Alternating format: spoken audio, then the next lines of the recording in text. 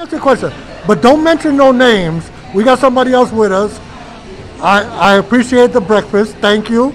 So what you got to say for um, seeing your friends in Vegas?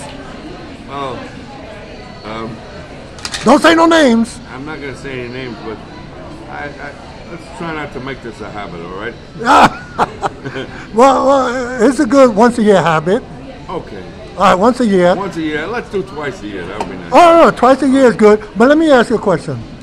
I know you, Wayne Friedman. No, don't pass the names on it. No, no, Wayne Friedman, that guy that we saw the other day. Oh, right, right. Yeah, yeah, yeah, the other guy.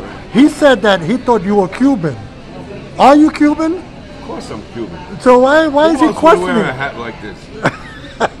Thank you, sir, and good luck. And I hope you You build too. up. I hope you too. build up. Yeah, Everybody. you, you Let's too. make some money. You too over there. Oh! All right? No, You no, no, no, no. I'm over there. Oh, you went over Yeah, there. yeah. All right. Thanks a lot. Take care. All right. Um, All right, Sylvester. Sylvester. wait, hold on. Put that hand out there again. Sylvester. Oh, we got the hand. All right, and um, good luck to you, Mister. Blah blah blah blah blah blah blah.